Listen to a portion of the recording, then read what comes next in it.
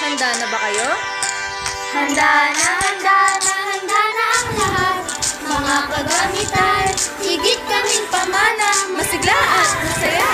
Sabik sa mga kwentong galing sa Biblia. Ang bunot ay biyaya. May aral na dala, mabubuting pamana.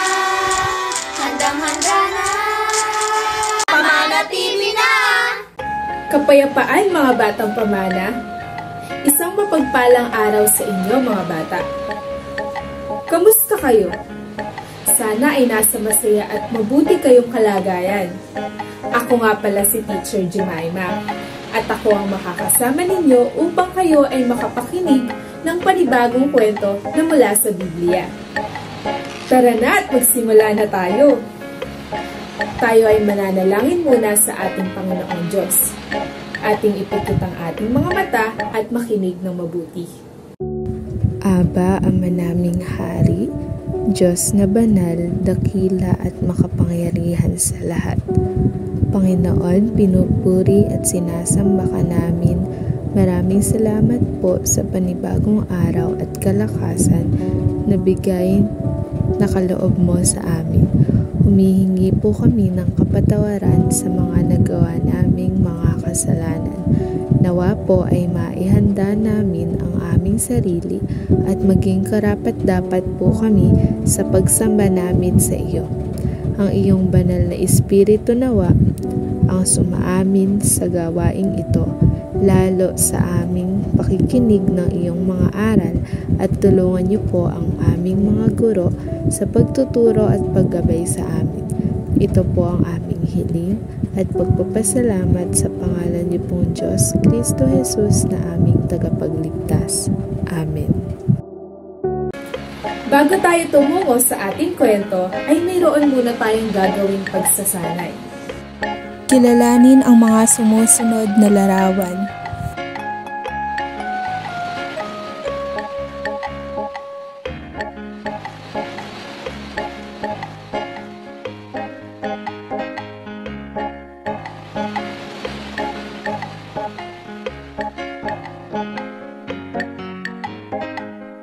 Ayan mga batang pamana, nahulaan niyo ba kung ano ang ating kwento ngayon?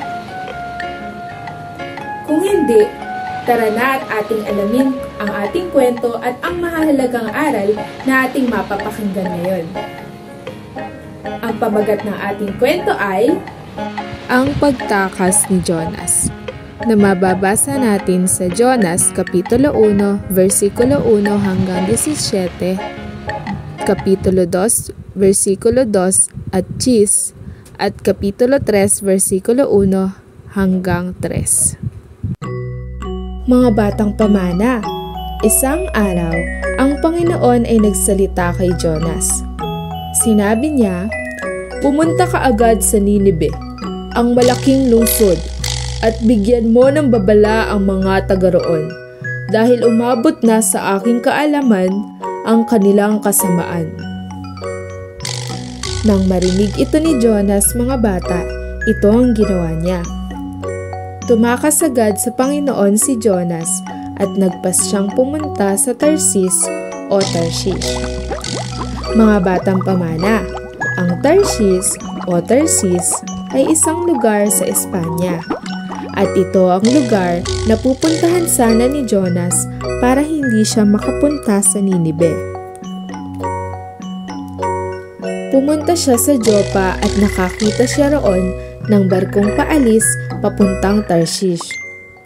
Kaya nagbayad siya ng pamasahe at sumakay sa barko kasama ng mga tripulante at ng iba pang mga pasahero upang tumakas sa Panginoon. Nang nasa laot na sila, nagpadala ang Panginoon ng napakalakas na hangin at halos mawasak na ang barko.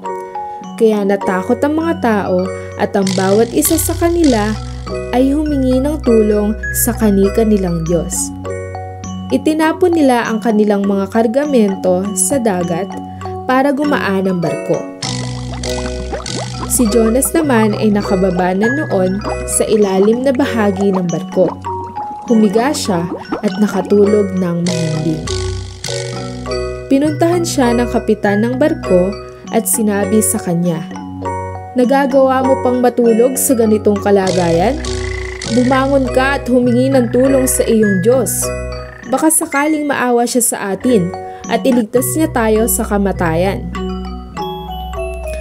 Nag-usap-usap ang mga tao. Magpalabunutan na lang tayo upang malaman natin kung sino ang dahilan ng pagdating ng sakunang ito sa atin. At nang magpalabunutan na sila, nabunot ang pangalan ni Jonas. Kaya kinausap nila siya. Gusto naming malaman kung sino ang dahilan ng pagdating ng sakunang ito. Sabihin mo kung ano ang iyong hanap buhay at kung saan ka nanggaling. Sabihin mo rin sa amin kung taga saan ka at anong lahi mo. Sumagot si Jonas. Ako ay Hebreyo at sumasamba sa Panginoon, ang Diyos ng langit na lumikha ng dagat at ng lupa. Kaya lubhang natakot ang mga tao dahil sinabi na sa kanila ni Jonas na tumatakas siya sa Panginoon. Sinabi nila sa kanya, Ano itong ginawa mo? At nang lalo pang lumakas ang hangin, sinabi ng mga tao kay Jonas, Ano ang gagawin namin sa iyo para kumalma ang dagat at nang makaligtas kami sa kapahamakan? Sumagot si Jonas sa kanila, Buhatin ninyo ako at ihagis sa dagat, at kakalma ito, sapagkat alam kong ako ang dahilan kung bakit dumating ang napakalakas na hangin na ito. Hindi nila sinunod si Jonas. Sa halip, sinikap ng mga tripulante na sumagwan papunta sa dalampasigan.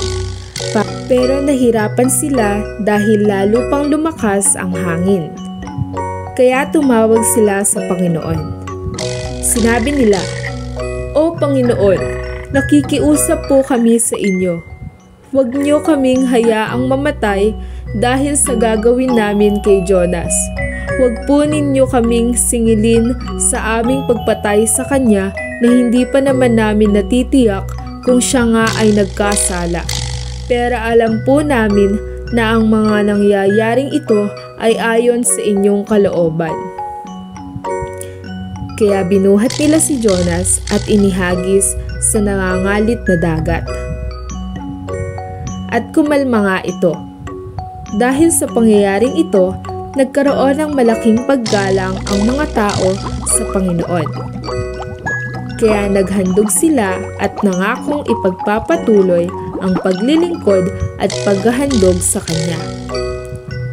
Samantala, nagpadala ang Panginoon ng isang malaking isda para lunukin si Jonas. Nanalangin si Jonas sa Panginoon na kanyang Diyos sa loob ng tiyan ng isda. Tatlong araw at tatlong gabi siya sa tiyan ng isda. Kaya inutusan ng Panginoon ang isda at iniluwa nito si Jonas sa dalampasigan. Muling nagsalita ang Panginoon kay Jonas.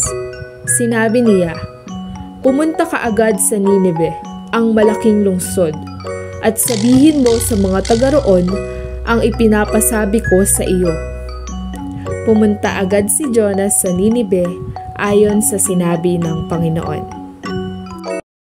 O ayan mga bata, isang kwento na naman ang ating kapupulutan ng aral. Kaya naman atin nang alamin ang mga mahalagang aral ng ating kwento. Mga aral na dapat matutunan. Una, sumunod sa utos ng Diyos. Mas mabuti ang sumusunod kaysa sumusuway Nakita naman natin sa kwento mga bata na hindi sumunod si Jonas sa utos ng Panginoon. Kaya sila ay naparusahan sa sinasakyan nilang barko at sila ay nakaranas ng matinding sama ng panahon. Ang mga halimbawang utos ng Diyos sa atin ay Sumasamba tayo palagi sa pagkakatipong pamana paggawa ng mabuti at pag-iwas sa mga masama.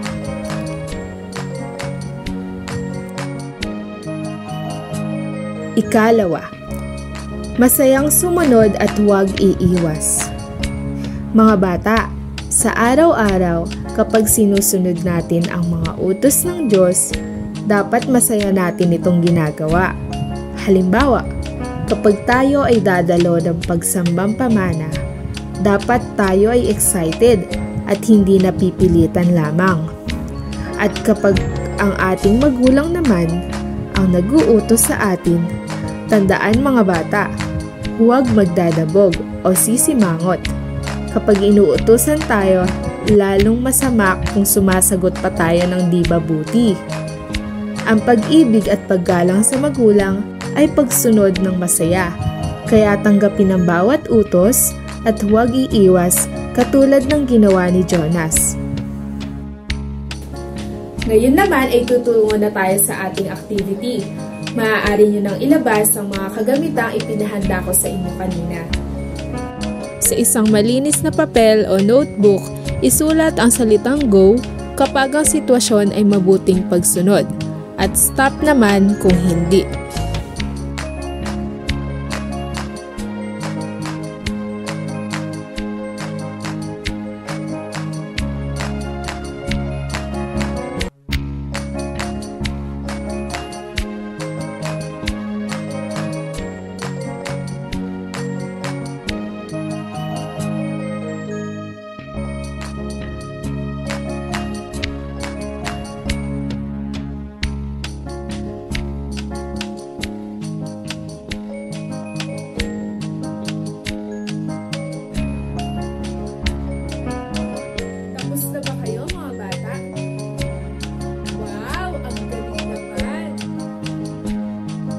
Dahil dito, narito naman ang ating memory verse na mababasa sa Psalm chapter 128 verse 1 to 2.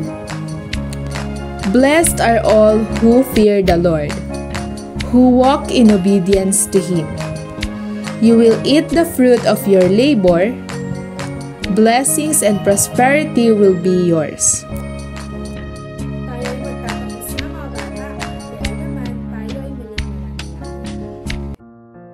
Aba, Ama naming Hari, Diyos na banal, maluwalhati at makapangyarihan sa lahat. Maraming salamat po sa kapayapaan at sa mga aral na itinuro niyo po sa amin sa araw na ito. Naunawaan po namin na mahalaga na sumunod kami sa mga utos niyo dahil ito ay para din sa ikabubuti namin. Humihingi po kami ng kapatawaran sa aming mga nagawang kamalian. Tulungan niyo po sana kami na maging mabuti at masunurin pang mga bata. Nagpapasalamat din po kami sa aming mga guro at magulang na walang sawang nagtuturo sa amin. Ito po ang aming dalangin at pasalamat. Sa pangalan niyo pong Diyos, Kristo Jesus na aming tagapagligtas. Maraming salamat sa inyong pakikinig mga bata. Hanggang sa muli, paalam!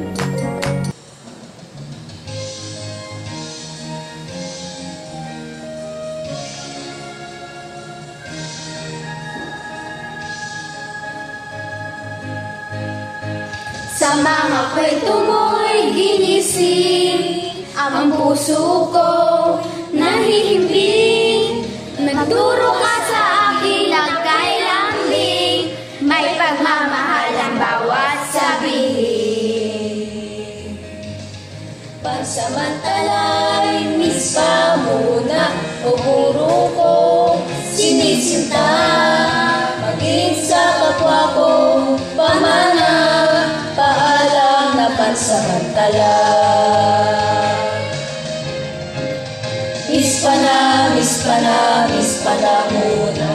Aking kamag-aral na minamahal Miss pa na, miss pa na, miss pa na muna Sa guro ko.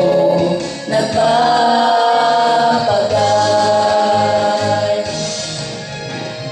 Miss pa na, miss pa na, miss pa na muna Aking kamag-aral na minamahal Miss pa na, miss pa na, miss pa na muna Sa guro ko